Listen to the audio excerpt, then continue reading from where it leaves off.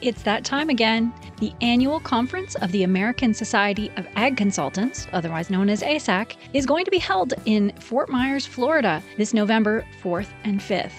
Kirk Covington is one of nine professionals who will address the conference. The other speakers who will cover a wide range of topics represent Florida Farm Bureau, Florida Citrus Commission, University of Tennessee Institute of Agriculture, National Ag Law Center, Risk Mitigators and Advisors, Tyler Associates, as well as the lead economist for dairy at CoBank, and myself, Chrissy Wozniak from North American Ag. The day and a half of presentations will be followed by ag tours on Tuesday afternoon. At Echo Farms, one of my favorite places here in Fort Myers, attendees will experience farming at its most creative, with unique demonstrations, plants, and techniques being used to help farmers and urban gardeners in developing countries. A second tour at Echo will showcase simple technologies that can improve food, water, and shelter for millions of people.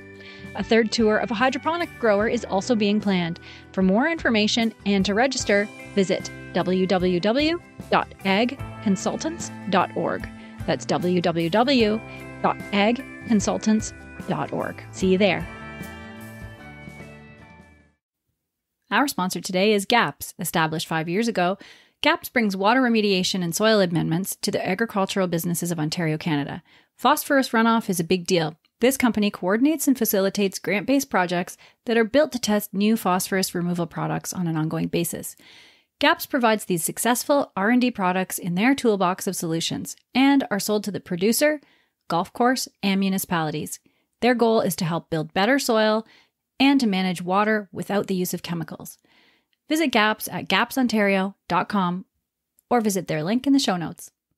Hi,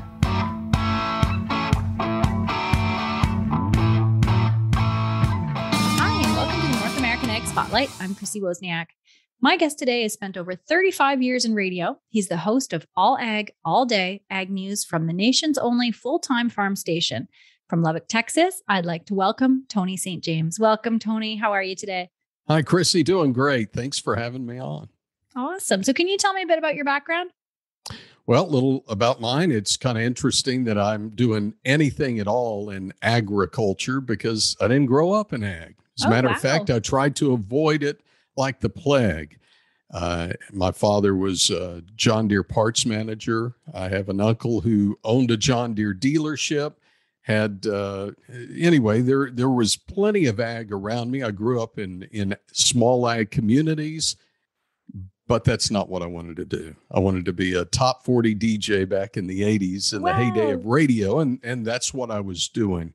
Along the way, my wife and I uh, ended up. Uh, well, we realized that places like Dallas or Houston or Austin or New York or wherever had plenty of really good disc jockeys already on the air.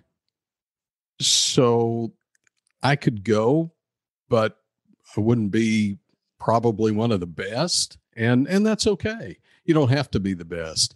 But we realized that small towns had radio stations and they deserved really good stations as well. So uh, we bought a small town station, a town of 3,000 people. Uh, actually started with two Visa cards that we maxed out Wow. put a down payment on the down payment to get it started. And then it was uh, after that it was a lot of faith a lot of prayer and divine intervention.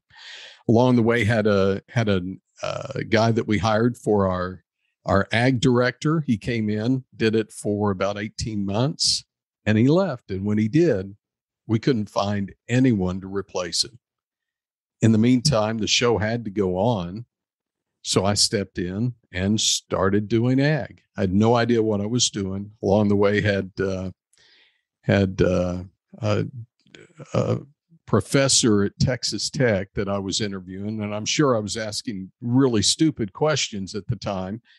Uh, after it was over, we were at a table sharing a meal, and he, without looking up, he said, "You know, if you'd like to have a great interview." You might ask whoever you're going to talk to, what are three good questions? And that way you don't have to know anything about the subject, but you'll get a great interview. And so I, I implemented that That's and great. have been doing that now for 30 plus years. Wow, that's that's really cool. And so can you tell me about All Ag All Day, the the radio and its podcast now too, right? Sure, sure. So All Ag All Day uh, is about 20 years old now. Wow. Um, back in the early uh, 2000s, we decided that we have an AM and an FM station uh, in Floydada, Texas. There are more livestock in the county than people. Uh, but the FM was a country station, and we were really struggling with what to do on the AM. We didn't want to do the Rush Limbaugh thing. Everybody else seemed to be doing that. So we had narrowed it down to two things all ag or all comedy and decided that comedy was going to take too much time and i'm not funny so eh, we realized that maybe ag is eh, eh, we can make this thing work and that's that was the i guess the the spark that lit the fire for all ag all day. Now it's uh, 24 hours seven days a week on uh, a station there in the lubbock area we also have uh, 22 hours, seven days a week on a station in Amarillo. And that is literally ag nonstop. Along the way, we also syndicate programs. So we have two one hour shows that go to over 20 stations across uh, six states. And then we have short form, two to three minute programs that air from Fresno and Modesto, California, all the way up to Utica and Rome, New York. No way. That's that is really cool. And so who's your typical listener? Farmers, ranchers, yep. and that's it because uh, it, I use the the term LDP that it was an acronym for loan deficiency payments and we don't really talk about that anymore but nobody in their right mind wants to keep up with LDP payments if you're not in the industry mm-hmm. it, it's you know it's much like talking about ARC and PLC decisions for insurance. If you're not involved in production ag, you you don't really care about that. So we very rarely will get a listener that's not really what we would consider a class one producer. We might get some who have small acreage. Um, we might get some who've retired, maybe still landowners. Uh, might get a, a, uh, ag banker along the way or somebody involved in insurance. Uh, one interesting note: we we've had a faithful listener in Atlanta, Georgia, for years who listened to our online stream. He wasn't in ag, but he was involved in moving produce uh, as a middleman uh, from companies to grocery outlets. And, and so he would listen to try to find out what the trends might be to help give him an edge. So there That's you go. Really That's who listens, I think. Wow. And then what kind of areas of the industry do you cover? Or is it pretty much broad spectrum? Oh, I think I was telling you earlier, I'm I'm feel like I play in the shallow end of the pool a lot. I, I play on the splash pad, but don't throw me in the deep end because I don't know firsthand what many producers go through. So, what I do is I ask a lot of questions of a lot of different people. So, we cover everything from uh, members of Congress, uh, where we go to DC twice a year, spend a week, and, and actually sit down and talk with uh, members of Congress. And we talk about ag and rural issues. And when we talk about it, it, it's an interview. By the way, you do a great job with your interviews because you're really good at, at teeing up a question and then allowing whoever you're asking to uh, to really extrapolate from that question. And you know, so often when we see interviews in the media today, whoever is interviewing is really trying to guide the right. conversation and throw their ideas in the whole way. And mm-hmm. if you don't agree with me, then you're wrong. And and I think we miss out on the opportunity to learn so much. So what I do is just what you're doing. I ask questions, sit back and and listen. We cover everything from what's happening in DC. Uh, we cover the major commodities, so corn, soybeans, wheat, sorghum, cotton, cattle, hogs. Uh, we cover uh, from time to time some of the specialty crops. We cover trade issues. We cover infrastructure uh, we just try to cover anything that might be of interest not to just one producer in one part of the, the country, but we try to cover the entire thing because even though many don't aren't concerned with the Water Resources Development Act or WRDA, if you take away our ability to move product up and down the, the Mississippi and Illinois rivers, we've got a major issue nationwide. So that's why even WRDA for a, a dry land producer in Arizona doesn't mean much. It's still an important topic. Yeah, and I couldn't I couldn't agree with you more with so much of media now is is really based on trying to get the answer you want, right? Um, but yeah, I can tell from your interviews as well. You're curious. You're curious. You want to know what's happening and want to know the truth, and you you you really really try to to get the entire story for the listener and that's that's really great i really appreciate that well thanks uh, again you know i think it's it's the way most of us are mm-hmm. if you're having a conversation uh, at a restaurant with somebody you just met or you're you're on a i don't know about a train but a plane somebody next to you they're going to ask you a question. You're going to ask them questions back and that's how we we build dialogue and that's how we really learn. So uh, you've got sure. a great style. Ah, thanks. So and you clearly have your finger on the pulse of north american ag industry. So what is the overall tone that you're hearing as we step into the 2022 growing season the overall tone is extreme concern I think I, I, was looking for one word and I couldn't find it. Mm-hmm. Uh, we needed an adjective in there because it, it's not concern; it is extreme concern because there are so many things that are are volatile right now uh, that that you know one spark and the, the whole thing could go up in flames. Let's talk prices. I mean, we're looking at historic prices right now. Whether you're you're talking uh, where we are with wheat or where we are with cotton. Uh, cotton's only been higher than it is now one time in history. Wow. And that was uh, about 10 years ago, but it wasn't necessarily a fundamental type thing. By the way, when you think, oh, $2 cotton would be a great thing. Well, it is a great thing if you've got cotton to sell and you've got a buyer. Unfortunately, last time it hit $2, it took many out of the industry because they couldn't cover the margin calls. We don't think about those type of things when we watch prices move up and down. Uh, there's an elasticity with those those prices, and once you break that band, everything comes off. So I think I think keeping in mind the the fact that we've got prices that probably I would say are not sustainable at this point. Mm-hmm.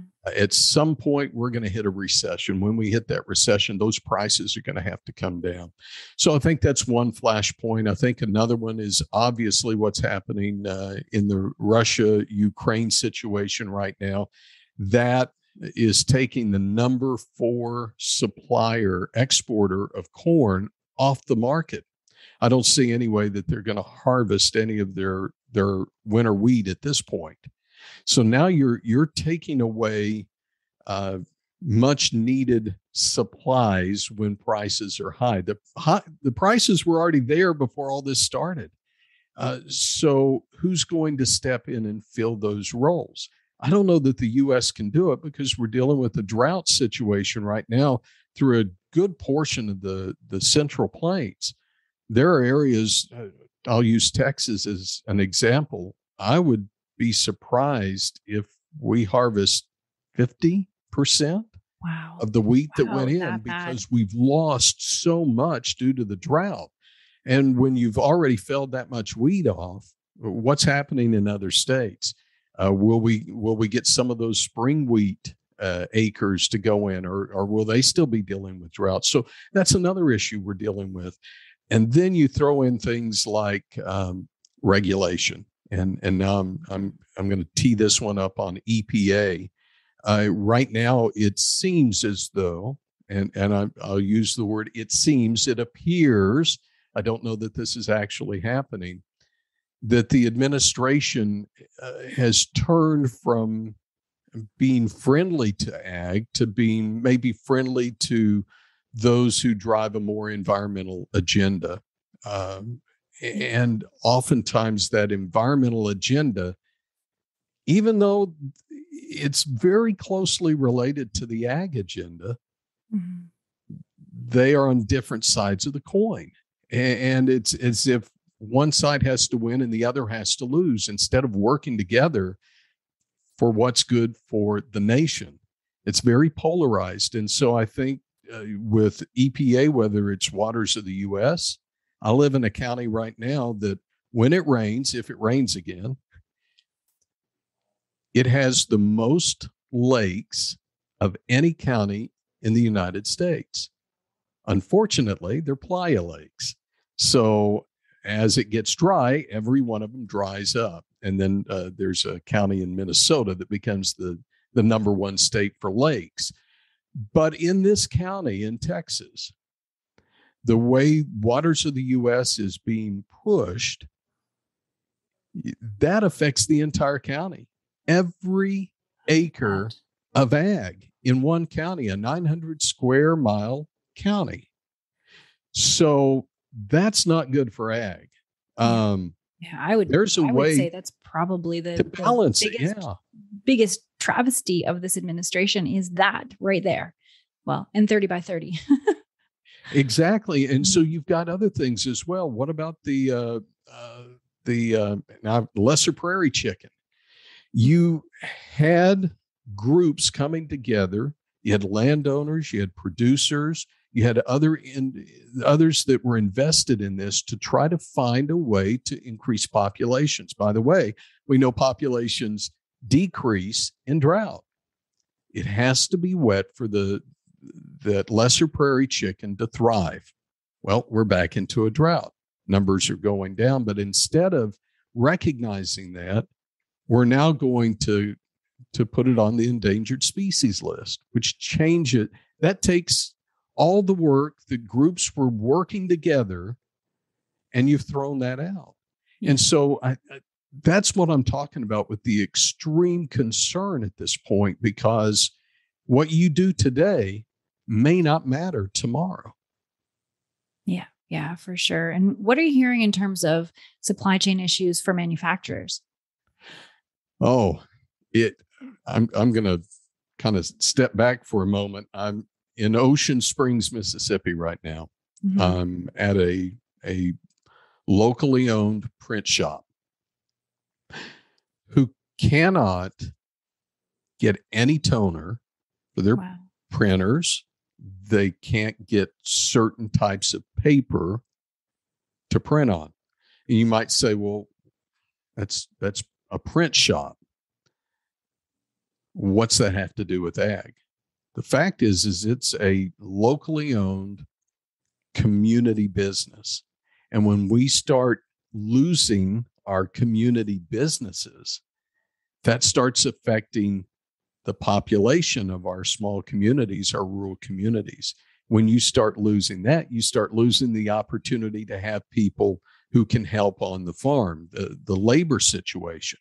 So suddenly oh, and by the way, when you start seeing that happen, what happens to uh, the potential for tax revenue? That starts dropping as well, which then cuts into our schools. And suddenly, before you know it, we have ghost towns. Yeah. Uh, so that's one side of the supply chain that we don't really think of because we're so caught up in ag. We have issues with trying to get our product out. Uh, I've been in New Orleans uh, for, let's see, I was there a couple of weeks ago, uh, and I'll be back in there on Friday. And what we're finding is barge rates are now moving to their highest level ever. Uh, so those are some issues that we're looking at. Looking at issues of trying to get parts in as well. We already know we're we're missing out on uh, glyphosate. Uh, we're we're seeing shortages of fertilizer. Obviously, shortages will increase the cost of production. We have some producers who are looking at different crops now based upon the availability of what chemicals or fertilizer they can get. So it's not even a point of growing for what the market needs based on price, we have producers who are having to make decisions based upon cost. That's it. Yeah. And think of the ripple effect to the, you know, even, you know, the seed guys. If all of a sudden they thought this huge order is coming in and then everyone has to pivot to something else, you know, what are, how does, how does that affect everything? And, you know, let's use one, one uh, mode here.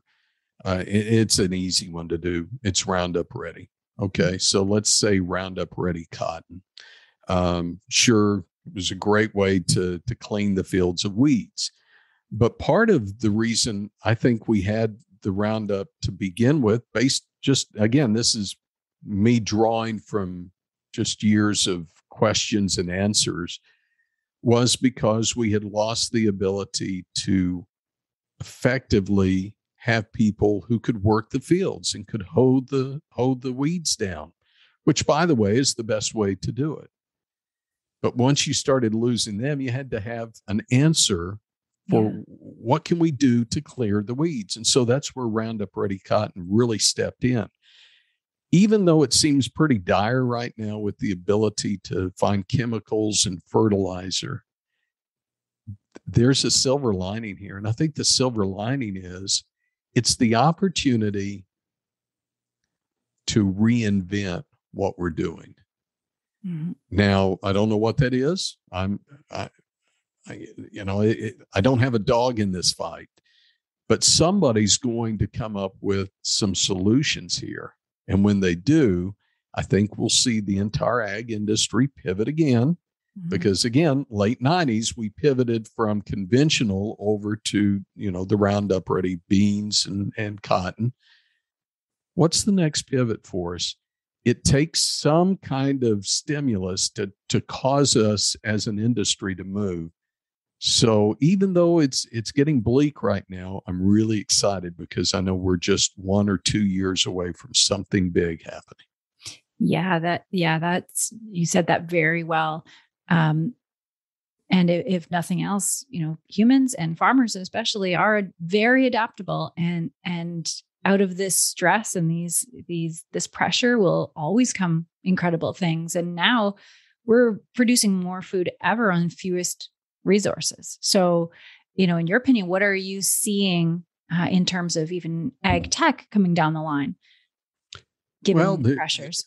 Yeah, there is you know, there's so much technology there. Um, you know, we we have enough food to feed the entire world. We have it. I think um, for now, this is the third administration, and it started with Secretary Vilsack in the Obama administration of trying to pinpoint what are we doing? How are we wasting this food? What is it that that keeps us from getting the food to the right places? Well, number one, we've got we've got waste issues. Uh, now, I probably weigh a little more because when I have a plate, especially with a steak on it, I'm not leaving anything on that plate. Uh, but there are other times where we do, uh, and you know we maybe we don't eat the whole salad or whatever. Well, we're we're throwing those out. Uh, you know, I don't know what that solution is, but that's one side of this. I, I don't think we have to get to a point where we're growing so much more food. Now we can't be taking acres out of what we're doing, and and obviously when you've got drought situations, uh, and you've got war happening in other parts of the world, you can't reduce the acres. Uh, we probably need to find ways to continue to be more productive on the land that we are. But I think the bigger issue is how can we stop or reduce the amount of waste that we have? That's mm-hmm. one part. And then I think the second part of this is we've got food to send to starving people in countries where they need it. But they have to be able to take it and and certain countries will not accept something because it's GMO, and and well, we're just not taking it. Well, the end result is your people are going to die. Or when the food is taken but used in a political or military style, and we see that happening. You know, it, that's one I don't know how we how we solve that issue, but those are those are two areas that we have to address. And I know that the administration uh, the Trump administration and the Obama administration all had been trying to tee that up. And I'll bet if you ask Secretary Vilsack today, it would be one of the top five issues that is on his mind of we have to figure out a way if we're throwing this out how do we convert it to energy? How do we get something out of this other than just throwing it in the landfill? Yeah those are great points. And and you you do think you know, just on garbage day going through your neighborhood, how much waste we're producing. Uh, that's a really great point. I don't, I haven't really thought about that in a while. So yeah, so good, good, good points. And uh, I, I met you in February at um, World Ag Expo in California. Uh, you do a lot of traveling uh, for conferences, shows, and and for your business. So, what are you hearing and feeling from exhibitors, and attendees after a couple of rough years for the farm show circuit. So what are, what are you hearing there? Sure, and uh, so was in New Orleans a couple of weeks ago for Commodity Classic. Mm-hmm. Uh, the attendance was down from two years ago. Kind of expected that. Uh, the exhibitor list was down from two years ago. Kind of expected that as well. I think we're it, it we were in New Orleans, and unfortunately, there has become a political divide over things like mask oh. and over vaccinations. And I, am going to try to I'm going to try to plow right down the middle of this field here because my opinion doesn't matter one way or the other. Whether I believe you should or shouldn't be vaxxed, it, it's irrelevant. Uh, it's a pothole.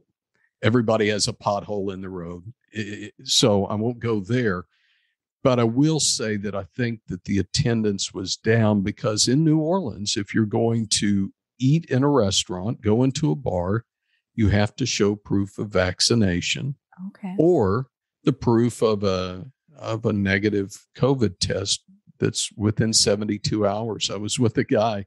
We walked into a restaurant and his was 74 hours and they weren't going to let him in.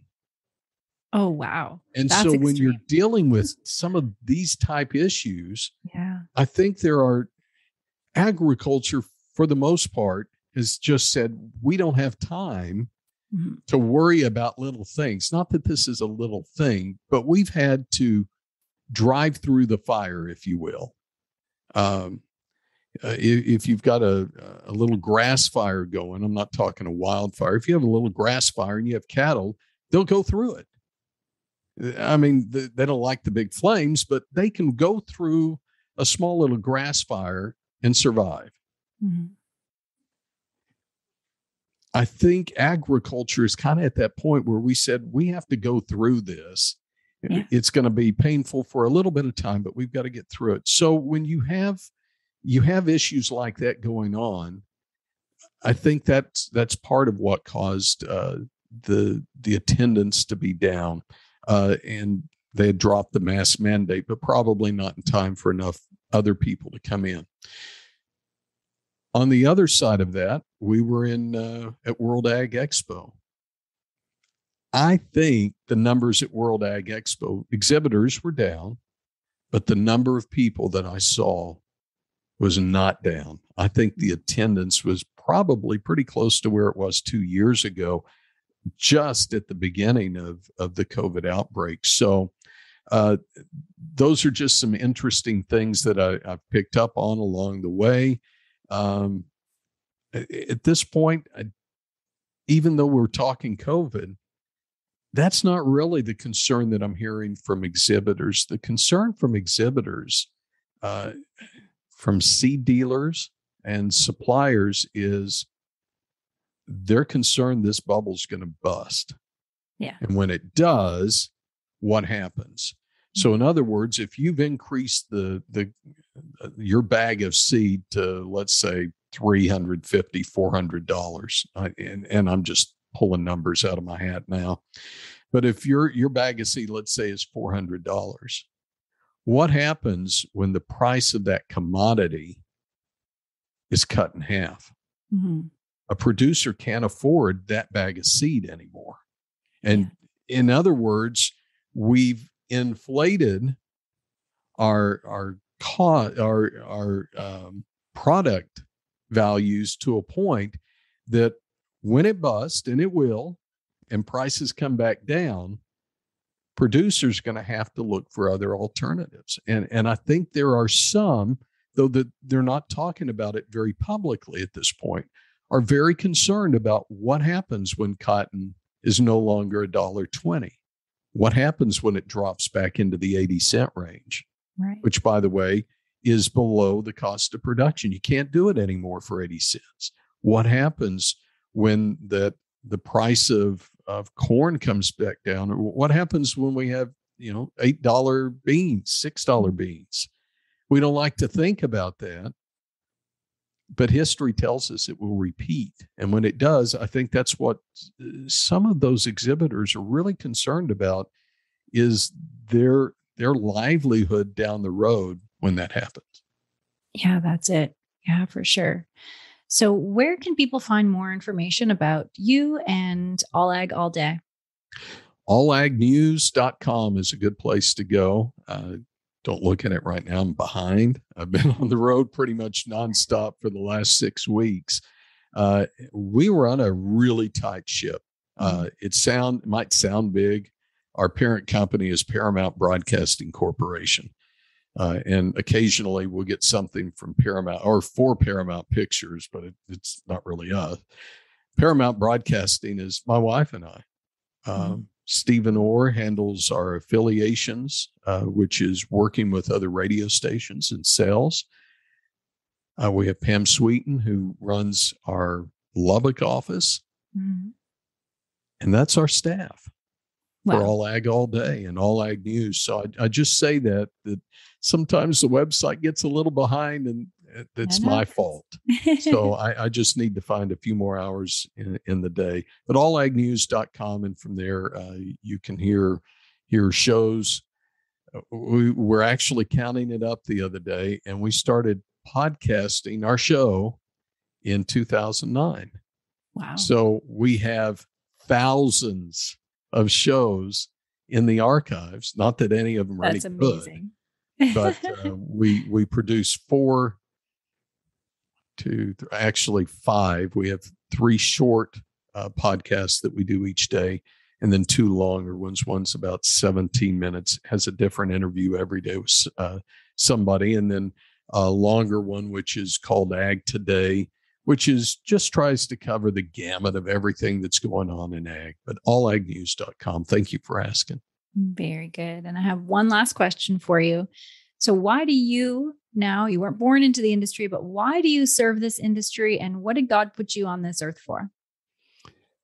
I don't know. I'm going to answer the last one first. Mm-hmm. You know, for years, I wanted to know, okay, Lord, why I, why am I in this small town that I'd never heard of in my life? What am I doing here? Just just tell me so I can I can do the work. And then as I got older, I realized when we think we know what we're supposed to do, we go after it, right? That's the whole idea. If uh, if there's a problem, we tear it apart, try to fix it, right? But maybe if we knew what we were placed here for, we would be working harder to make it happen instead of allowing the Lord to do what he does. And that involves having challenges and frustrations and having high points and low points along the way and meeting people that you would never meet if you knew what your purpose was. And so I don't know what my purpose is, but I don't want to know because I know I'll screw it up. So I'll answer the second question first with that. And then your first question is why do I keep doing this? Um, there's a story to tell, and farmers and ranchers, and I've again growing up in small communities and having good friends, they don't really have the time nor the desire to to tell their story. They just want to do their work. Yeah. So what I try to do is be that middle middleman, if you will. I try to provide them information that they might not have time to go get. And in return, I try to share their stories with people who don't know what they do. And I'll I'll leave you with one final uh, thought here. When I'm in DC, uh, I meet with members of the House. Many of those that I'm meeting with from the House Ag Committee have an idea of what ag is. Some of them are actually farmers or ranchers. Mm-hmm. You get over to the Senate side, and that really dwindles down. The number of, you know, sure, you've got your Chuck Grassley's in there, um, but the number of, of actual farmers, you don't have them. Um, you have people who are passionate about it, but you have members who don't comprehend. And there's a member right now that I'm I'm working with and has been gracious enough to provide me some of their time. And when we have an interview, I make sure I don't ask any questions they're not prepared for. I want to build that relationship up to, to a place, and I'll be honest with them as well. I, I want them to feel comfortable enough with me to know that I'm not going to put them in a corner. I'm not going to try to bury them in a hole over something that they're doing that is really bad for ag.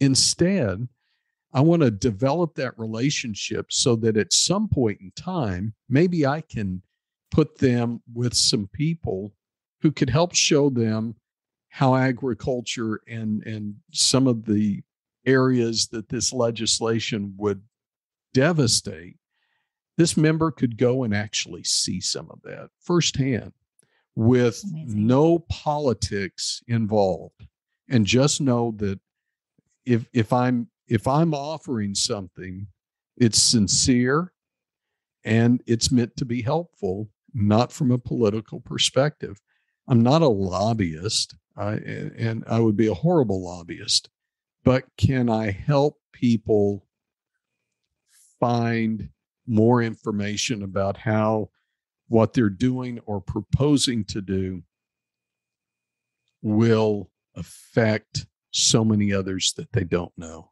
And that's why I keep doing this.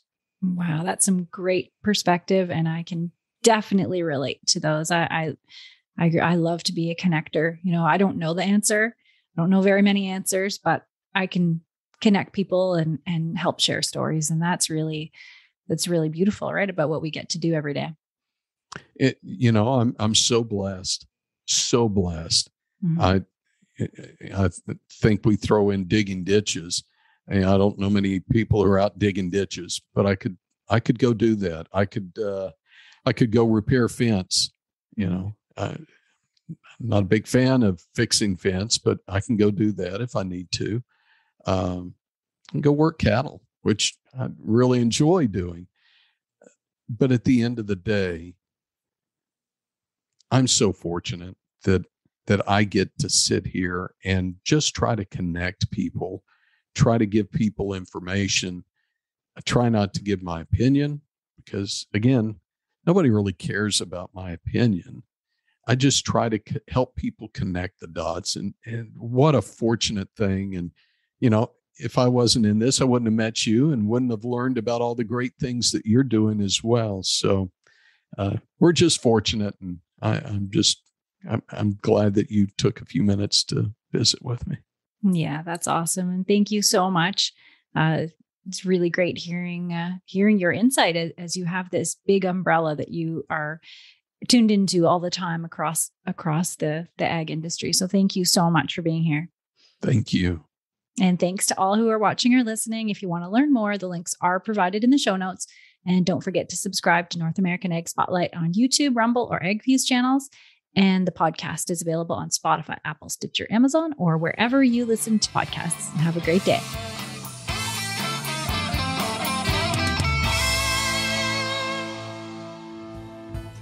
Thanks so much for listening to today's Ag Spotlight episode, where we put the spotlight on people and companies doing great things for the agricultural industry. Don't forget to subscribe on Apple, Amazon, Spotify, Stitcher, or on your favorite podcasting platform, and give us a five star review. You can also follow us on YouTube and Rumble to see the video version of Ag Spotlight. Also, head on over to NorthAmericanAg.com to subscribe to our Industry Connect update newsletter. If you're interested in advertising opportunities, email us at connect at NorthAmericanAg.com. Thanks for listening.